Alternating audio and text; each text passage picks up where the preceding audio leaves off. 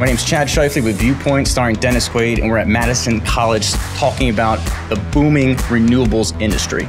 So we can't wait to show you what we got in store. I'm Teresa Eaton with Rex Renewables. Hi, I'm Stanley Minnick. I'm the customer experience and branch manager for Arch Electric in Madison, Wisconsin.